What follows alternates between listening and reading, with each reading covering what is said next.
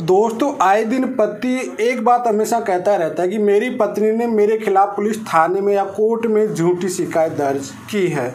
आप, ये तो एक नॉर्मल कॉमन वर्ड हो चुका है, कोई भी पति से आप बात करके देख लीजिए, भले वो सच्ची घटना होगी, लेकिन हर कोई यही बोलता है कि मेरे खिलाफ उसने झूठी शिकायत की है।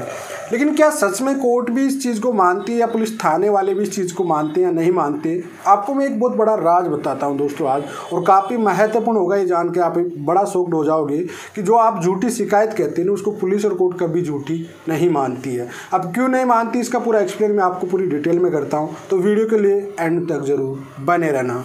तो चलिए दोस्तों नो टाइम पास नो बकवास, सीधा करते हैं। काम की बात, मैं हूँ हंस। देखिए दोस्तों जब भी कोई महिला पुलिस थाने में शिकायत करती है, चाहे वो 112 पे कॉल करके करती हो, चाहे वो ऑफलाइन पुलिस थाने जाके शिकायत करती हो और कई बार पुलिस क्या करती है, उस पर इन्वेस्टिगेशन भी करती है या उसे क्लोज कर देती है। लोग वहाँ पे क्या सोचते हैं कि साहब पुलिस में वह तो झूठी शिकायत की थी, पुलिस ने मेरे पे किसी भी प्रकार की कोई कार्रवाई नहीं की। दोस्तों, ऐसा नहीं होता है। पुलिस के पास कहीं एफआईआर जाती है, कहीं कंप्लेंट जाती रहती है हमेशा। तो उस सिचुएशन में पुलिस क्या करती है कि जब पर्याप्त सबूत नहीं मिलते तो उसे क्लोज कर देती है, यानी बंद कर देती है। अब इसका मतलब ये झूठी नहीं मान सकते। पुलिस और कोर्ट और लॉ इस चीज़ को कभी झूठी नहीं मानता। सकता, हो सकता है उस टाइम सिचुएशन ऐसी रही होगी महिला के साथ जो उनके पास उस चीज़ का एविडेंस इकट्ठे नहीं कर पाई होगी वह। तो इसके बेस पे उसको ख़त्म कर दिया जाता है, लेकिन उसे झूठी नहीं मानते। ना ही कभी आपने नोट किया होगा, उस पर एफ़ नहीं लगाते हैं। झूठी तब मानी जाती है जब पुलिस पूरी प्रॉपरली उस इन्वेस्टिगेशन करती है और एफ़ दर्ज होने के बाद उस पर एफ़ लगा देती है, यानी फुल्स रिपोर्ट झूठी शिकायत या झूठी जो भी कंप्लेंट है उस पर लगा देती, तब वो जाके झूठी मानी जाती। है अन्यथा जो बार बार 112 पे कॉल करती है आपकी पत्नी ठीक है, पुलिस थाने में जाती रहती है, आपको पुलिस बुलाती रहती है बार बार आपकी काउंसलिंग वगैरह करती है, फिर वापस भगा देती है तो वह झूठी शिकायत नहीं होती है। उसे पारिवारिक विवाद समझते हुए पुलिस और कोर्ट यह समझती है कि दोनों के पास या तो ईगो एंकर की लड़ाई है या फिर फुल एविडेंस नहीं है। इसका कोई अच्छा सा ग्राउंड बनता नहीं है, इस बेस पर उस शिकायत को ख़त्म कर देती है पुलिस। इन्वेस्टिगेशन ज़रूर करती है, ऐसा नहीं है।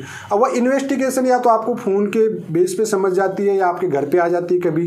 कहीं पर क्या होता है कि फैमिली मैटर होते हुए उनको वहीं पे ख़त्म कर देती है। इस वजह से मामले कभी झूठे नहीं होते। अगर ये आप सोचते हो कि झूठी शिकायत है, झूठे इस तरह की है तो भाई आप डेफिनेशन का केस कर सकते हो। क्यों नहीं कर पाते हो आप डेफिनेशन का केस यही कारण है कि पुलिस उसे कभी भी झूठी नहीं मानती है। और आप लोग इसे झूठी समझ लेती हो। ठीक है? आपके समझने से नहीं होता है। कोर्ट और पुलिस हमेशा ये चीज़ नोट करती है कि जो भी शिकायत आई है, इस पर इन्वेस्टिगेशन की जाए। पर्याप्त इसमें सबूत नहीं है एविडेंस नहीं पाए गए। इस वजह उसे वह क्लोज कर देती है और एफ़ का उसे रूप नहीं देती है।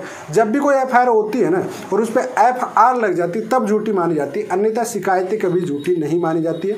बिना मतलब थोड़ी शॉर्ट एविडेंस के कारण उनको क्लोज कर दी जाती है। और इसी वजह से पुलिस कभी उसे झूठी नहीं मानती है। तो आयोग दोस्तों, जो आपने बार बार कहते हैं कि झूठी शिकायत की है, वो झूठी नहीं होती है।